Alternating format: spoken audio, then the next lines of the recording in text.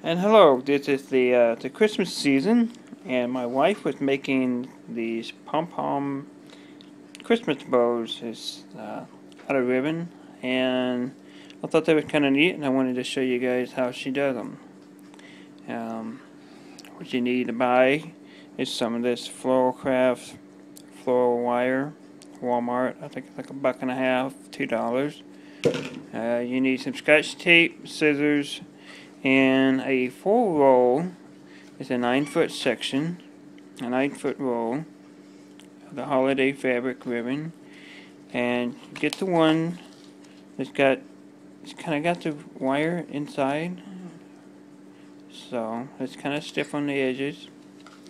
And she's going to demonstrate how you make these gorgeous looking bows for your gifts. They're homemade. So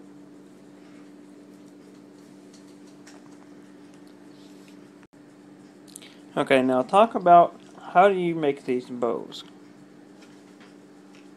First you take your wire floral ribbon and you cut a little section. And I already had a little section pre-cut. I can't pick it up. And you're going to secure the center of the bow um, with it. And I'll show you how to do that. So you'll need your scissors and the wire together. So um, I don't really measure. I saw some videos where people were measuring across the package for the size of the bow, but I just um, make a loop. And I saw a video of someone that put tape right here in the center to hold it into place um, so you don't have to wrap it around your hand. So then you take the loop and you just make the circle with it until the whole roll is done.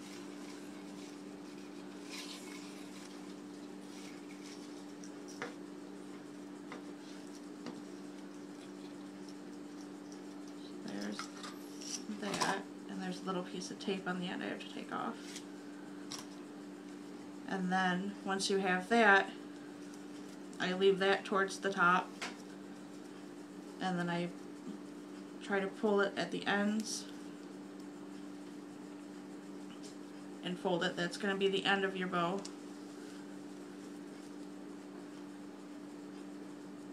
So then in the center, you're going to need to notch out I just fold it all in once, but you don't have to do that.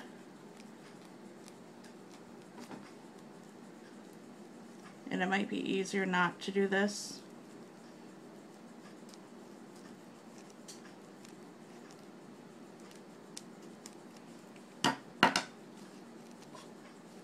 Get it all out. And then you flip it over and do the same on the other side. Notch out another triangle.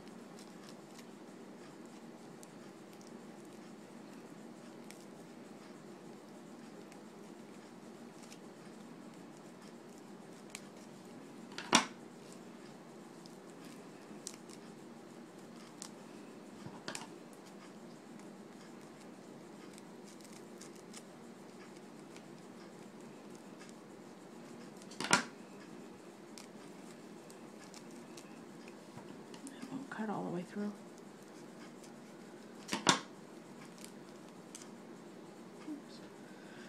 And then you'll need, this is where you need the floral ribbon. And you tie it around here. And I try to tie it as close as I can. So then you want to turn it around so that where you tied it is in the back. And find the center. And if you want to take the tape off of that piece where you've taped it on, you can. So then you take from the inside, pull it out, and give it a twist, and then go the opposite direction, and another twist, And just keep going back and forth.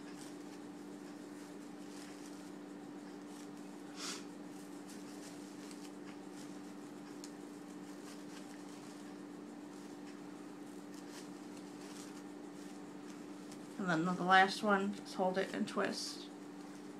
And then you want to go to the other side.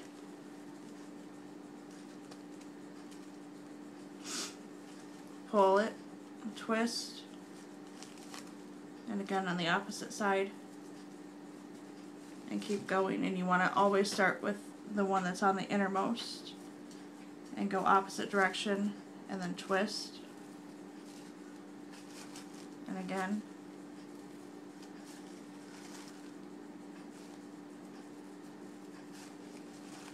And twist, and then take the last one and twist it. And then with the wire bow, what you can do with it is you can, because of the wires, you can shape them a little easier and fluff it out.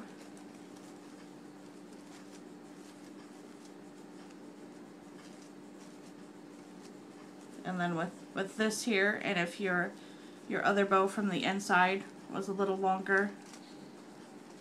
What you could do then is, if you had two of them this length, you could just cut it out to make a decorative tail. If you wanted to do that. And it won't cut. It didn't cut far enough. Almost.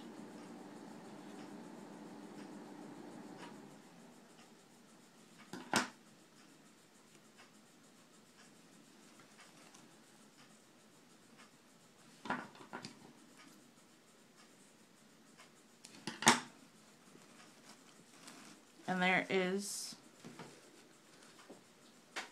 yours just simple plain pom pom bow Now you can buy smaller ones.